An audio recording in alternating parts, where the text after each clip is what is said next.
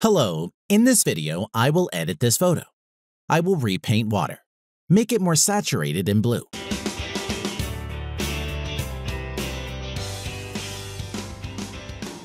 First, I'll go to the channel mixer and fix the color of the water here.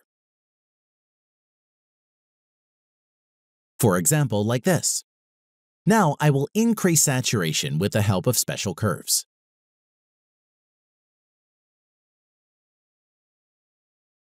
I will make desaturated colors brighter. I'm going to add color and contrast using CMYK2 curves.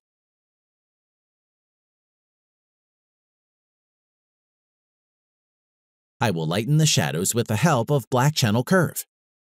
I got small artifacts appearing in the sky, so I'm going to fix them using Mask based on luminance.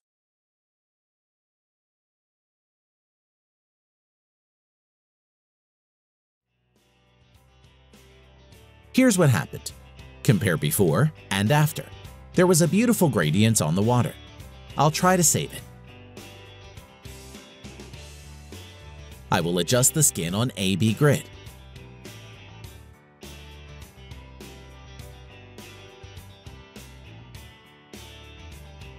Now the result suits me.